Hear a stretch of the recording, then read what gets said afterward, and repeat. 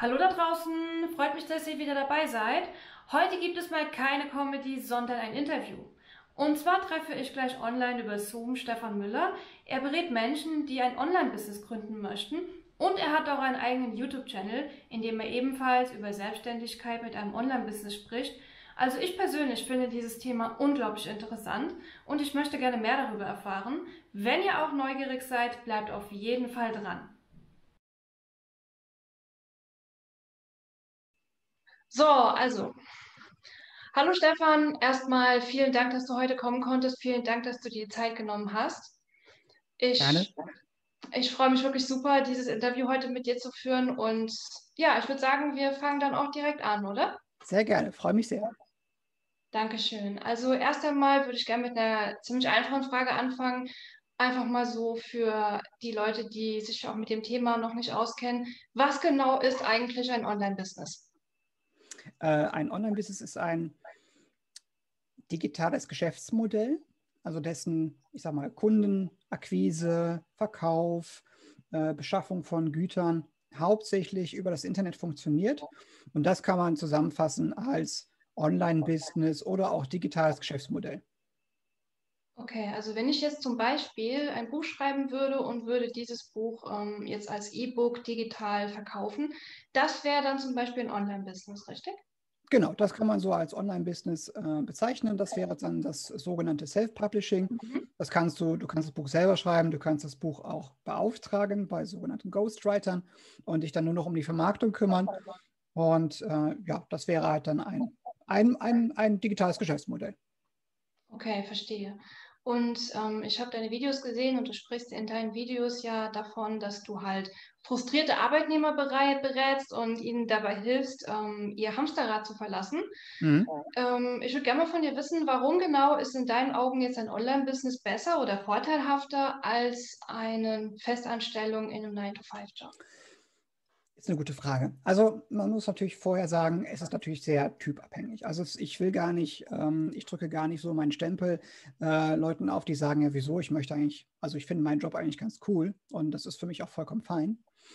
Ich habe allerdings die Erfahrung gemacht, dass es ähm, durchaus halt ein paar Vorteile gibt, die so ein digitales Geschäftsmodell äh, für Menschen mitbringt, die dafür offen sind. So, und mhm. das ist zum Beispiel halt die örtliche und die zeitliche Flexibilität, die es bringt. Na, wir brauchen halt nicht viel, wir brauchen unser Laptop und äh, einen Internetzugang. Zu Corona-Zeiten gibt es das natürlich auch halt in Festanstellungen ganz oft, dass man halt im Homeoffice arbeitet. Äh, aber letztendlich spielt für meine Arbeit keine Rolle, ob ich jetzt gerade gerade in Köln sitze, an meinem Schreibtisch zu Hause oder auf Acapulco. Ähm, das spielt gar keine Rolle. Ich kann letztendlich arbeiten, wann ich will, wann es halt für meine Kunden am besten ist, wann es für mich am besten ist. Und das bietet einfach sehr viele Gestaltungsmöglichkeiten. Das ist so, ich sag mal, auf der obersten Ebene sind das halt so die offensichtlichen Vorteile. Wenn man ein bisschen, bisschen tiefer geht, dann ähm, hat man zum Beispiel die Möglichkeit, über ein Online-Business oder ein digitales Geschäftsmodell seine Zeit wesentlich äh, wertvoller zu machen, als man das über seinen 9-to-5-Job machen kann. Weil wenn man da jetzt im 9-to-5-Job ist, dann hat man da meistens Schulungen, die man halt vielleicht bekommt oder auch nicht bekommt. Einmal im Jahr vielleicht. Und ansonsten gibt es aber tatsächlich nicht so viele Möglichkeiten neben Gehaltserhöhungen, ähm, seine Zeit, die man investiert, immer wertvoller zu machen. Und bei einem Online-Business ist es halt anders. Da arbeiten wir halt mit Recycling von Inhalten, da arbeiten wir mit Automatisierung, da arbeiten wir halt mit ganz vielen Methodiken, die unsere persönliche Zeit halt immer wertvoller macht und damit auch besser, invest also besser, ähm, ja, besser investierbar ist an der Stelle und womit wir letztendlich dann auch eine bessere Vergütung quasi erreichen können. Im ersten Moment erstmal nicht, ne, weil man arbeitet als Unternehmer erst einmal rein in der Hoffnung, dass was zurückkommt. Aber ähm, die, das Potenzial ist halt ein wesentlich höheres, als das bei einem 9-to-5-Job halt der, der Fall ist, wenn man nicht gerade als Geschäftsführer halt irgendwo angestellt ist. Hm, ich bin mir jetzt gerade noch nicht so hundertprozentig sicher, ob ich richtig verstanden habe, was du gemeint hast mit die Zeit wertvoller machen. Kannst du diesen Punkt vielleicht noch mal ein bisschen erklären? Ja, ähm, wenn wir eine, also angenommen, wir sind bei der Arbeit und erledigen eine Aufgabe, mhm. x-beliebig dann, wenn man das jetzt mal runterbrechen würde auf den Monatslohn, den man bekommt, dann war diese Stunde, die wir investiert haben, einen bestimmten Betrag äh, wert. Also mhm. sagen wir mal 38 Euro. Ja. Wenn ich diese Stunde jetzt bei mir im Online-Business investiere, zum Beispiel in die Produktion eines Inhaltes, den ich nachher verkaufe, dann ähm, bekomme ich für diese Stunde ab dem Zeitpunkt, wo ich noch nichts damit gemacht habe, noch nichts verkauft habe, bekomme ich natürlich 0 Euro. Mhm. Aber wenn das nachher zu einem Online-Kurs geführt hat, den ich 30 Mal verkauft habe oder 3000 mhm. Mal verkauft habe, dann ist diese Stunde plötzlich äh, nicht nur 38 Euro wert, sondern 380 oder Verstehe, 8, ja. 8000 Trillionen ne, und so weiter. Und mhm. äh, wenn ich zum Beispiel meine Videos mache, dann existiert immer ein geschriebenes Skript, was ich als Blogbeitrag verwende.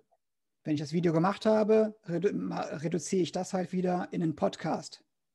Und damit spiele ich letztendlich auf vielen verschiedenen Kanälen etwas aus, aber mit dem gleichen Zeiteinsatz. Und das macht Zeit, also unseren Zeiteinsatz halt immer mal, halt wertvoller. Ich hoffe, das ungefähr. Ja, das ist auf jeden Fall so sehr gut verständlich und klingt auch wirklich sehr, sehr genial. Also ich meine, es gibt ja auch viele Arbeitnehmer, denke ich, die wirklich in ihrem Job sitzen im Büro und die sich auch teilweise vielleicht einfach fragen, warum mache ich das eigentlich? Die auch vielleicht in ihrem Job nicht so wirklich den Sinn sehen. Und ähm, ich wollte dich an der Stelle auch mal fragen, ähm, gerade so zu diesem Thema unglückliche Festangestellte in Deutschland. Hast du da vielleicht irgendwelche Statistiken, dass man mal sagen könnte, wie viel Prozent der Deutschen in ihrem Job unzufrieden sind? Also, also für genau. wie viele sich das auch dann lohnen würde, ein Online-Business zu gründen? Da muss man ein bisschen unterscheiden. Also meine Erfahrung, also es gibt natürlich offizielle Zahlen dazu, ähm, die kann ich natürlich jetzt aus dem Kopf nicht zitieren. Es gibt aber zum Beispiel halt den, den Gallup äh, Engagement Index, äh, der da halt äh, oft bei dieser Frage halt zitiert wird, der irgendwie sagt, dass äh, ein bestimmter Prozentsatz, und der ist gar nicht so klein, an Mitarbeitern bereits eine innere Kündigung ausgesprochen haben in ihrem Job. Das heißt, innere Kündigung heißt, äh, letztendlich interessiert sie ähm, die Belange ihres, ihrer Festanstellung eigentlich überhaupt nicht mehr. Äh, man geht da einfach nur noch hin, um halt Geld zu verdienen und ist aber halt sehr stark frustriert und, und genervt halt von letztendlich dem, was halt da so läuft. So. Ähm, und darüber hinaus gibt es natürlich viele Leute, die äh, dann zwar jetzt noch vielleicht noch nicht in, äh, innerlich gekündigt haben, aber halt sagen, das ist einfach nicht das, was ich hier auf die Dauer halt an der Stelle halt machen möchte. Allerdings muss man auch ganz klar sagen, es gibt einen sehr großen Unterschied zwischen den Menschen, die einfach nur, ich sag mal, unglücklich frustriert sind und den Menschen, die tatsächlich auch ähm, etwas dagegen tun. Ne? Also gerade, ich sage mal, es ist wahrscheinlich auch so ein bisschen halt äh, eine deutsche Angelegenheit, so ein bisschen, so ein bisschen meckern, ne? ist alles nicht so dolle. Na, ja, der, mhm. der, Anteil von den Menschen, die tatsächlich dann sagen, so ich ändere jetzt was, ne, ich gucke mir mal andere Optionen an für mein Leben, der ist halt dann nochmal unwesentlich, also ist nochmal wesentlich kleiner dann tatsächlich auch. Verstehe. Ähm, ich habe eine persönliche Frage. Und zwar würde mich mal interessieren, du berätst ja, wie gesagt, ähm, solche Arbeitnehmer, die halt eben zum Beispiel unglücklich sind, was dagegen tun möchten und mhm. ein Online-Business aufbauen möchten. Wie kam es dazu, dass du dieses Business für dich gegründet hast? Oh, das ist ein langer Leidensweg. okay. Also das hat im Prinzip ähm, 2014 äh, angefangen, als ich meinen Blog äh, aufgebaut habe und der hatte damals schon das Thema halt Führungs, ähm, also Management letztendlich, ne, weil ich damals halt tatsächlich so ein bisschen rebelliert habe gegen meinen damaligen Chef, äh, weil ich einfach nicht einverstanden war, wie das halt in der Firma läuft. So, und das war mein erster Fuß so in Richtung Online-Business, aber es war ein ziemlich langer Weg äh, bis zu dem Zeitpunkt, wo ich jetzt oder bis zu dem Punkt, wo ich jetzt bin. Hat den Grund, ähm, weil ich vor, ah, ich muss ein bisschen weiter ausholen. Also es gibt, es gab halt so ein paar Schlüsselerlebnisse. Und äh, eines der Schlüsselerlebnisse war zum Beispiel, dass ich äh, bei der Arbeit einen äh, Todesfall hatte, weil ich hatte einen Kollegen und äh, der Mitarbeiter von mir war, ich war ja auch da lange Zeit Abteilungsleiter und der ist halt, der ist halt verstorben. Und das war weit vor seiner Zeit. Und das hat mich so getroffen, obwohl ich jetzt mit dem Mitarbeiter jetzt auch nicht irgendwie freundschaftlich verbandelt war oder so. Und wir waren sicherlich auch nicht immer gleicher Meinung. Aber ähm, das hat mich ohne dass ich das hätte zugeben wollen, tatsächlich so hart getroffen, dass es mich so stark ins Nachdenken gebracht hat, ähm, dass was für ein rares Gut die Zeit ist, die wir auf der Welt haben. Ich meine es gar nicht melancholisch, ist einfach so. Ne? Also unsere Tage sind gezählt. So. ähm, das, war, das ist Faktor Nummer eins. Das heißt also, sich damit abzufinden, irgendwann halt in die Rente zu gehen und dann machen zu können, was man will, ist letztendlich eigentlich viel zu spät gedacht, sondern man muss schon vorher anfangen mit dem, was man eigentlich tun möchte. So, und ja. da, bietet, da bietet halt ein 9-to-5-Job nicht die idealen Bedingungen für sowas. Mhm. Zumindest in der, in der Regel nicht. Naja, und auf diesem Weg habe ich tatsächlich halt eine Vielzahl von Dingen halt ausprobiert. Ich habe äh, viele ja, also ich habe viele, viele Businessmodelle ausprobiert. Ich habe äh, äh, bin auch oft und viel an diesen Sachen halt dann gescheitert, weil ich niemals dahinter gestanden habe. Und eines Tages war es dann so, nachdem ich so viel ausprobiert, ich habe Affiliate-Seiten gemacht, ich habe ähm, Bücher veröffentlicht, ich habe Software selber programmiert für Software as a Service, ich habe Prototype Services gemacht. Also alles, was man so an Modellen machen kann, habe ich ausprobiert. Und ich war an dem Punkt irgendwann, wo ich mich gefragt habe, warum mir, warum ich das so offensichtlich will, aber ich trotzdem halt nicht damit glücklich bin. Naja, und die Antwort war eigentlich ganz einfach, weil es nicht zu mir gepasst hat. Und das ist etwas, was ich jetzt halt propagiere. Ein Online-Business letztendlich, ein Unternehmen, also ist ein Unternehmen ganz normal, aber letztendlich muss es zu einem passen irgendein Modell zu nehmen in der Hoffnung, dass das ganz cool ist und dass man damit halt reich und, und berühmt wird, das ist äh, zum Scheitern verurteilt. Es muss schon von uns selber aus dem Herzen halt kommen, was wir da machen wollen. Die Schwierigkeit dabei ist allerdings, dass die meisten Menschen nicht, wollen, äh, nicht wissen, was sie wollen. Ne, keine, keine Verbindung zu sich selber haben, nicht wissen, was ihnen gut tut, was ihnen, was ihnen halt nicht so gut tut. Und da habe ich irgendwann halt begriffen, dass ich da helfen kann, weil ich sehe halt Geschäftsmodelle bei Menschen wesentlich früher als sie selber. Und ähm, ja, als ich mal vom Aldi vom Einkaufen kam, dachte ich, Moment, 9 to 5 Aussteiger, das ist doch das Stärkwort, das ist doch genau das, was du verkörperst. Ja, und so ist das Ganze ins Rollen gekommen. Das klingt mega cool. Ich finde das auch richtig stark, was du machst, also dass du halt wirklich auch da dich für andere Menschen auch einsetzt.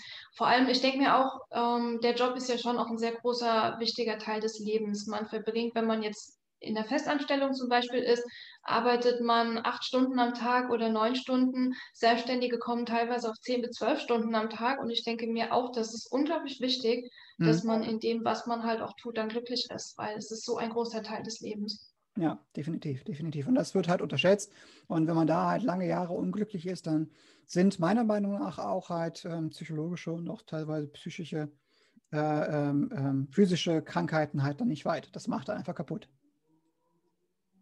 Was mich auch noch interessieren würde, berätst du jetzt ähm, Kunden nur aus Deutschland oder international? Äh, tatsächlich nur aus Deutschland. Also Deutschland, Österreich und die Schweiz, das ist so mein Einzugsgebiet. Ich denke, das ist erstmal, erstmal groß genug. ja, das glaube ich sofort. Und mich würde noch interessieren, ähm, wenn du jetzt, also mich würde mal so generell interessieren, wie sieht so eine Beratung eigentlich bei dir aus? Also wenn ich jetzt zum Beispiel sagen würde, nur mal als Beispiel, ähm, ich möchte meinen YouTube-Channel monetarisieren, ich möchte Geld damit verdienen, ich möchte darauf aufbauen, ein Online-Business gründen. Wie wären so die Schritte? Was würdest, wie würdest du mit mir vorgehen?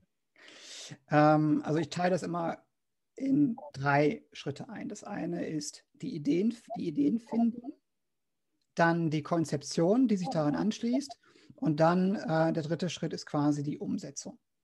Und wie wir vorgehen würden, wäre im Prinzip erstmal ganz einfach. Mir geht es erstmal darum, halt dann mein Gegenüber halt erstmal kennenzulernen.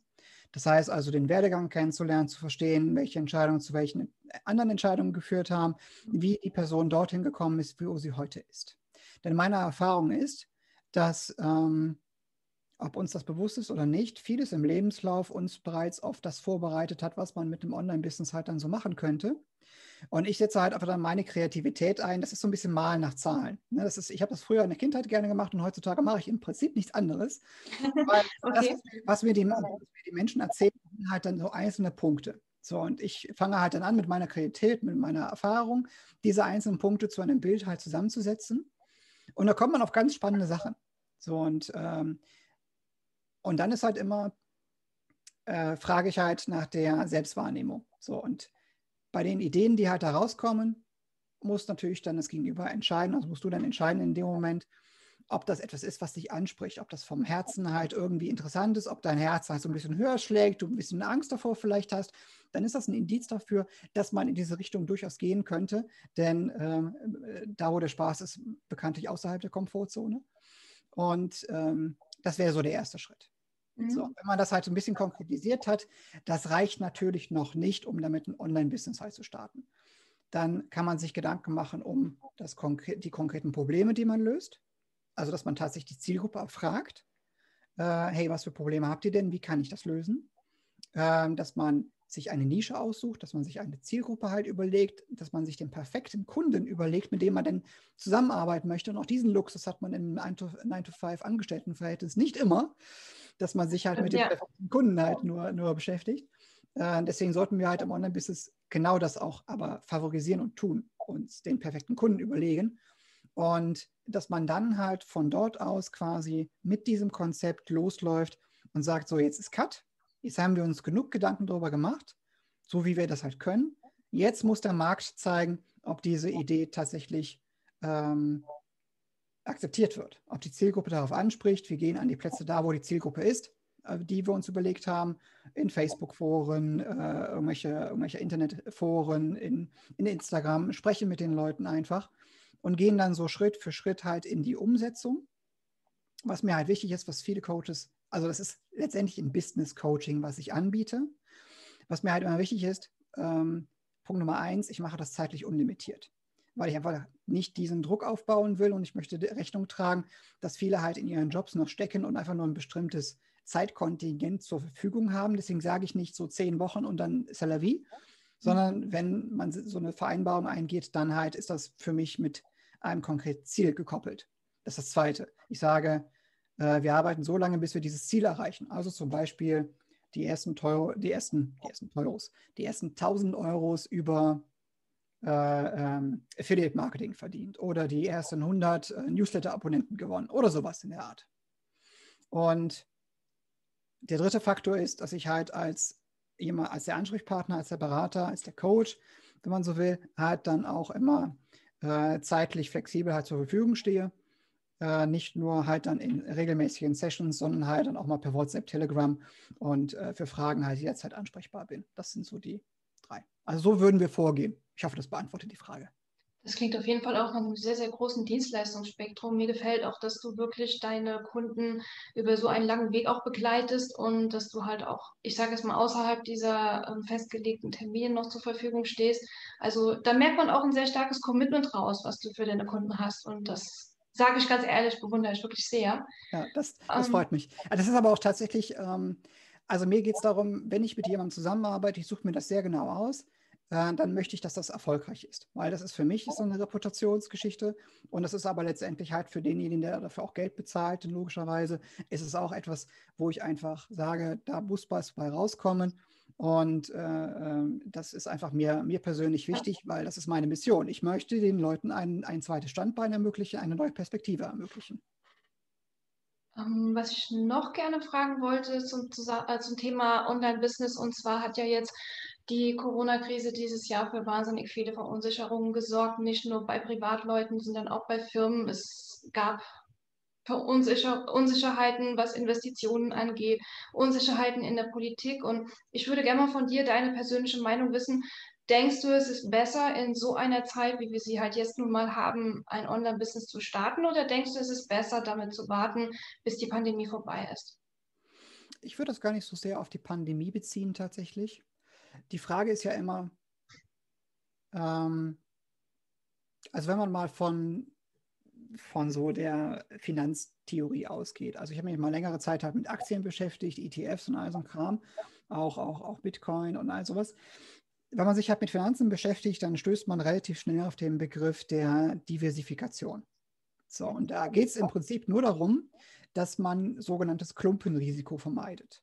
Sprich, wir legen nicht alle Eier in den gleichen Korb, sondern äh, haben nicht immer nur eine, eine deutsche Aktie. Wir kaufen nicht immer nur Deutsche Telekom äh, mit all unserem Geld, weil wenn die Deutsche Telekom plötzlich vom Aktienkurs runterrauscht, dann ist unser gesamtes Geld halt futsch. Deswegen investieren wir halt in verschiedensten Bereichen. Okay. So, das im Hinterkopf.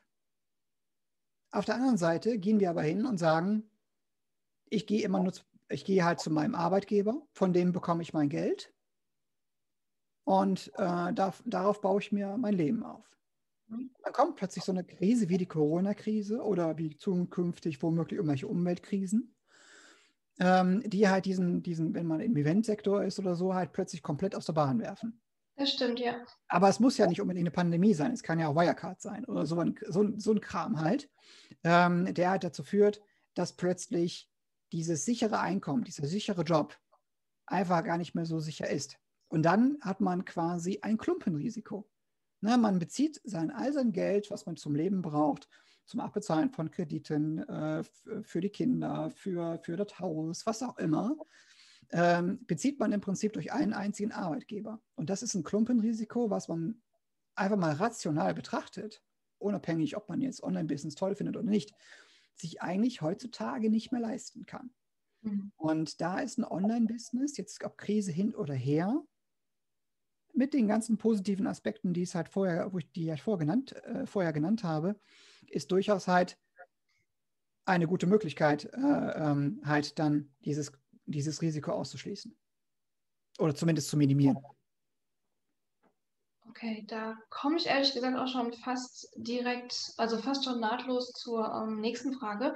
Und zwar gibt es ja ähm, viele Menschen, die jetzt an dem Thema oder an dem Konzept Online-Business auch sehr zweifeln, die zum Beispiel sagen, das sei eine brotlose Kunst und man kann damit nicht reich werden, man kann damit nichts verdienen, man kann damit nicht weiterkommen. Wenn dir jetzt so ein Mensch gegenüberstehen würde, was würdest du diesen Menschen sagen? Mit dir rede ich nicht. das, ist, das ist gut, ja? Nein, also ja, die Frage ist halt immer, woher solche Aussagen halt dann kommen. Äh, auch da sagt man halt in der, in der in, im Finanzsprech Skin in the Game. Äh, um mitreden zu können, muss man es zumindest mal ausprobiert haben. Und dann würde ich als allererstes halt fragen, woher diese, ähm, diese Haltung halt kommt. Ob das tatsächlich halt begründet ist in eigenen Versuchen, die man gemacht hat, oder ob das einfach eine übernommene Haltung ist äh, die man quasi so stammtischtechnisch halt einfach mal dann auch wiedergibt. Äh, ob das tatsächlich aus dem eigenen Glauben herauskommt oder tatsächlich aus der Evaluierung aus der Praxis. Das wäre ja das Erste. Und ich kann verstehen, dass dieser Gedanke existiert, weil es ja auch unheimlich viele Poser äh, gibt in diesem Markt. Ne? Also teure Uhren, teure, teure Autos, die da nur gemietet sind, irgendwelche Luxusvillen und all sowas. Wenn man sich das anschaut, so als Unbeteiligter, da kann man schon mal den Gedanken haben, das ist doch alles nur Fake. Das ist doch alles hier, das ist, funktioniert doch alles nicht. Ich weiß aber aus eigener Erfahrung, da, dadurch, dass ich auch in verschiedenen Communities zu dem Thema drin bin, ähm, damit wird Geld verdient. Allerdings ähm, zweifeln die meisten Leute tatsächlich so lange daran, bis sie das erste Geld damit verdient haben. Und sei es nur ein Euro. Und dann langsam begreift man, ja, doch, da könnte doch was dran sein. Man darf halt, dafür ist halt eine Sache wichtig. Man muss den Kunden halt ins Zentrum stellen. Ähm, man darf nicht daran gehen und sagen, so, das ist jetzt eine schnelle Art des Geldverdienens. Äh, äh ich mache da mal eben so ein bisschen was, äh, irgendwie Kommentare klicken oder sowas, keine Ahnung, liken damit kann man vielleicht ein paar Euro machen, aber das kann man nicht substanziell irgendwie als, als Einkommensquelle halt dann sehen.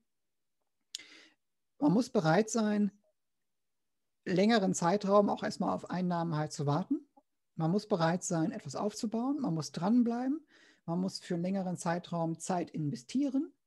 Äh, und wenn es auch nur kleine Portionen sind, es muss ja nicht immer acht Stunden pro Tag sein, das geht ja meistens gar nicht.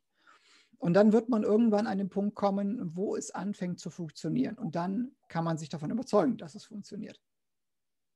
Wie lange dauert das denn so im Schnitt, ähm, bis man diesen Punkt erreicht hat, wo man wirklich sagen kann, man hat Erfolg mit seinem Business, man hat das Business erfolgreich aufgebaut? Hm.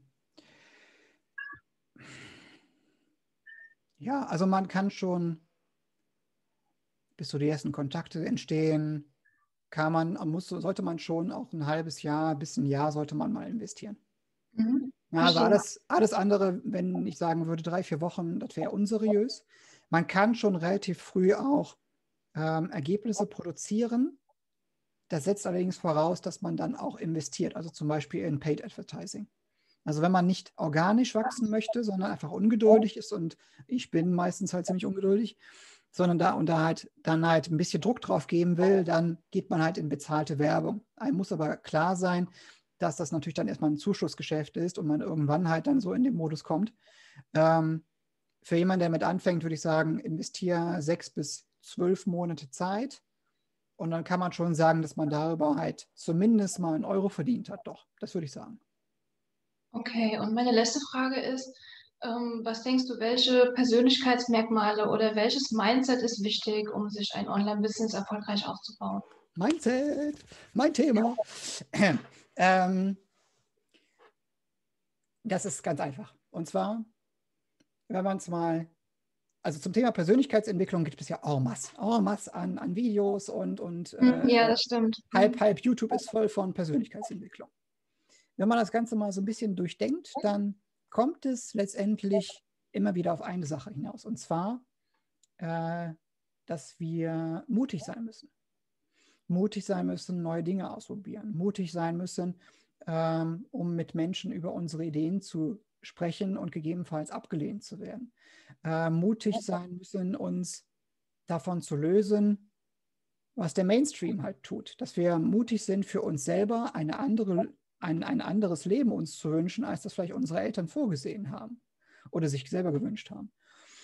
Das heißt also, die wichtigste Eigenschaft ist tatsächlich meines Erachtens äh, einfach den Mut zu haben, etwas auszuprobieren, sich eine eigene Meinung zu bilden und einfach auch an dem Thema halt dran zu bleiben, bis man äh, da Ergebnisse sieht. Weil das ist letztendlich das Merkmal, was nachher die Erfolgreichen von den Unerfolgreichen trennt. Ähm, oder sagen wir so, es gibt drei Merkmale. Merkmal Nummer eins habe ich gerade genannt, ist der Mut. Merkmal Nummer zwei ist die innere Überzeugtheit. Deswegen sage ich, macht es keinen Sinn, um ein Modell zu tun, was dann eigentlich überhaupt innerlich gar nicht berührt. Das muss schon von uns selber herauskommen. Und wenn das vom Herzen kommt, dann haben wir so eine Kraft, Kunden zu überzeugen. Äh, äh, da kann das Produkt auch schon total unausgereift sein. Es ist egal, weil wir dahinter stehen und wir können die Leute überzeugen. Dann ist es also der persönliche Faktor ist halt richtig wichtig. Und das dritte ist halt Durchhaltevermögen, weil wir brauchen halt nur einen Laptop und einen Internetzugang. Viele Leute haben Laptops und Internetzugänge. Deswegen, das stimmt, ja. deswegen, deswegen, deswegen versuchen es halt auch sehr viele Leute. Und das ist, ich stelle mir das immer so wie ein Schneckenrennen vor.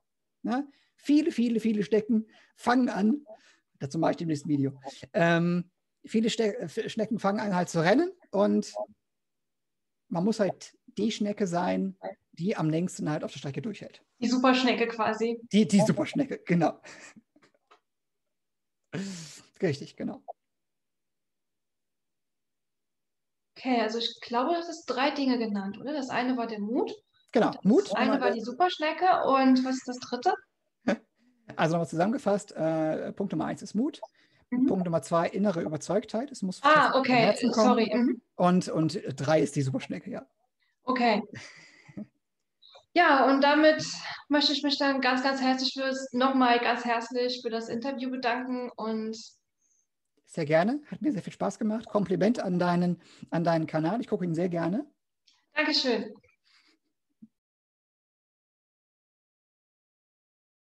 Das war Stefan Müller. Ich persönlich kann seinen Kanal und seine Videos nur empfehlen. Er ist in seinen Videos sehr ehrlich, realistisch und bodenständig und das gefällt mir unglaublich gut. Wenn euch dieses Video gefallen hat, abonniert also nicht nur meinen Kanal, sondern auch seinen.